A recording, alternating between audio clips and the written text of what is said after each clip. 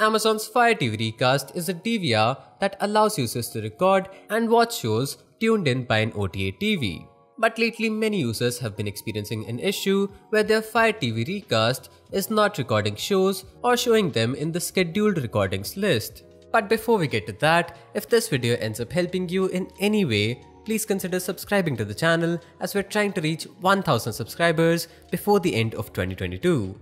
The device just doesn't initiate the process when users set their desired programs for recording. Affected users have tried restarting the device but to no avail. Even resetting the scheduled recording section does not seem to help.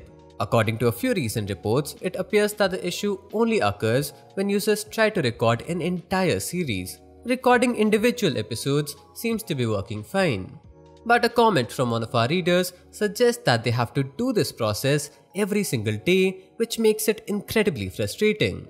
Fortunately, one of Amazon's team members has acknowledged the issue and said that they're working on a solution. We hope the developers find out the root cause of the issue and fix it at the earliest. We'll update our article about this issue as we get more and more new information. If you're watching this on YouTube, you can find the article link in the description. Also don't forget to like the video and join us here for more of our content.